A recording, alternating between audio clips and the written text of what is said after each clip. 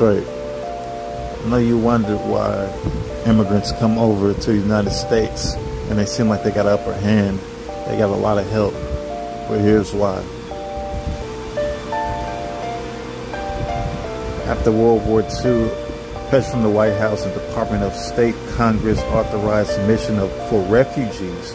The keyword refugees. They always use that term when it comes down to allowing these people to come in freely from European and uh, permitted asylum seekers already in the United U.S.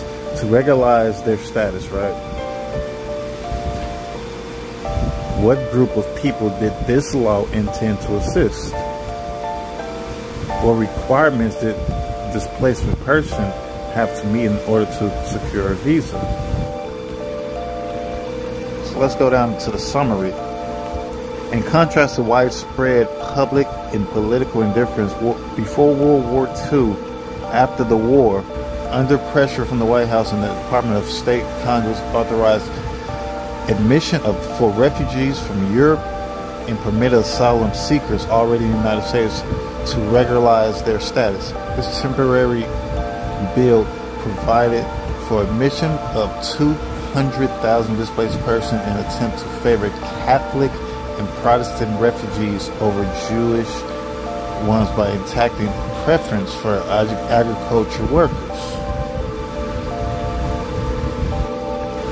It says, although Asians, refugees, no, uh, receive no refugee visas, the act enables several thousand Chinese already residing in the United States to gain legal permanent status by claiming asylum.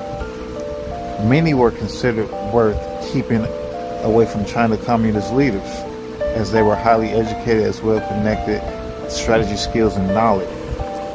So, government of the United States as president shall designate regarding such a person's character, history, which is lineage, and eligibility under this act.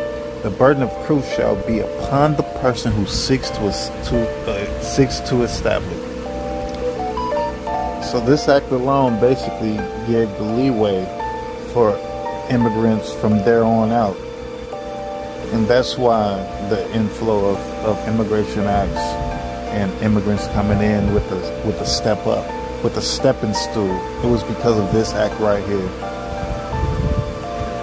This alone caused the United States to become a melting pot. There were several acts passed in the 1946 through 1948 and 49 that changed the structure of the world.